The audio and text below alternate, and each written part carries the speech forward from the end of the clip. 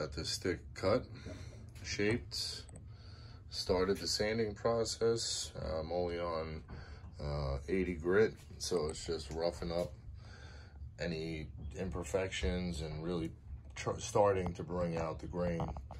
This is a pretty nice stick, I gotta say. It's very thick, hence the name the thick stick so far.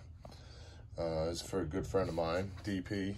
Um, undecided if this is going to be the top or the bottom of this video is going to be the top. Uh, I set both of them up that they could potentially be the top.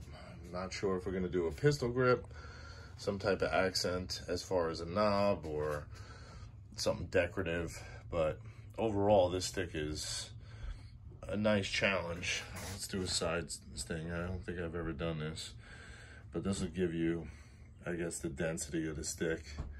It's pretty thick. It's, you know, um, a little, uh, I think it's two inches thick versus the one and a quarter, one and three quarters, one and an eighth, whatever. Um, it looks good though, and we'll keep you posted. I got a lot of sanding to do. Once the sanding's done, um, it's to be in DP's court, what we want to do. Um, take it from there. Thanks for watching and enjoy.